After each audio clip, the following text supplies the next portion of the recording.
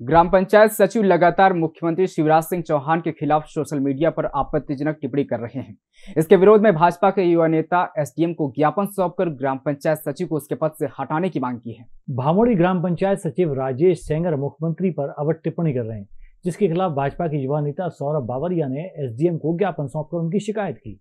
सौरभ बावरिया ने कहा कि मुख्यमंत्री जैसे संवैधानिक पद पर बैठे व्यक्ति पर अभद्र टिप्पणी करना सरकारी पद पर बैठे व्यक्ति को शोभा नहीं देता ग्राम पंचायत सचिव राजनीति से प्रेरित होकर मुख्यमंत्री शिवराज सिंह का अपमान कर रहे हैं। उन्हें उनके पद से हटाया जाए। इस अवसर पर युवा नेता के साथ नगर पालिका अध्यक्ष विनोद मालवीय और राजेश दुबे भी मौजूद थे। कल मेरे संज्ञान में आया था कि जनपद परासिया, बमोड़ी पंचायत के सचिव राजेश सेंगर जी द्वारा लगातार कई बार माननीय मुख्यमंत्री शिवराज सिंह चौहान जी को लेके कई प्रकार की व्हाट्सएप में, सोशल मीडिया में बातें लिखी जाती थी।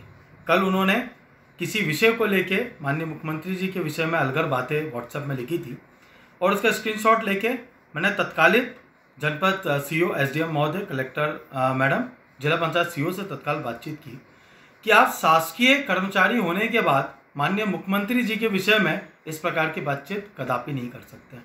और मैं एक चीज़ और आग्रह करना चाहता हूँ, मेरे संज्ञान में यहाँ एसडीएम कार्यालय परासिया में कई ऐसे अभी अधिकारी, कर्मचारी हैं जो लगातार व्हाट्सएप के माध्यम से कांग्रेस का एजेंट बन के अपना काम कर रहे हैं। मैं अभी आग्रहपूर्वक आपसे करना चाहता हूँ कि जो हो गया उसे रहने दीजिए। आने वाले समय में अगर इस प्रकार की कोई भी बातचीत होगी, उसमें कड़ी से कड़ी कार्रवाई होगी। और इस निमित्त में मैंने शिकायतकर्ता मैं स्वयं बना था। और उसमें तत्काल जिला पंचायत सीओ, कलेक्टर मैडम ने इसमें आदेश निकाला है, उन्हें कारण बताओ, नोटिस भी दिया गया है और साथ ही वहाँ से उन्हें लाइन अटैच करके जनपद परासिया में किया गया है। मध्य प्रदेश की महिलाओं के आर्थिक सशक्तिकरण के उद्देश्य से संवेदनशील मुख्यमंत्री शिवराज सिंह चौहान द्वारा मुख्यमंत्री लाडली बहना योजना का उपहार सभी पात्र महिलाओं को दिया गया है। इसके तहत उन्हें प्रति माह एक हज़ार रूपए दिए जाएँगे। ये राशि सीधे उनके बैंक खातों में पहुंचाई जाएगी। योजना की प्रक्रिया बेहद सरल और निशुल्क है। योजना से जुड़ने के लिए बहनों को कहीं भटकने की आवश्यकता भी नहीं है। दस जून को पहली किस्त बहनों के खाते में आ जाएगी एक हज़ार रुपया की पहली किस्त। योजना से जुड़ी अधिक जानकारी helpline number zero seven double five two seven double zero eight double zero एवं website C M Ladli Behna dot M P dot G O V dot in आरोप प्राप्त की जा सकती है। चलो लाडली बहना।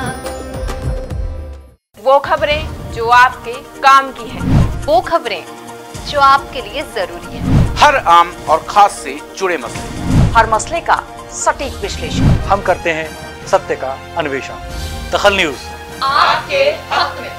आप देख रहे हैं दखल न्यूज़।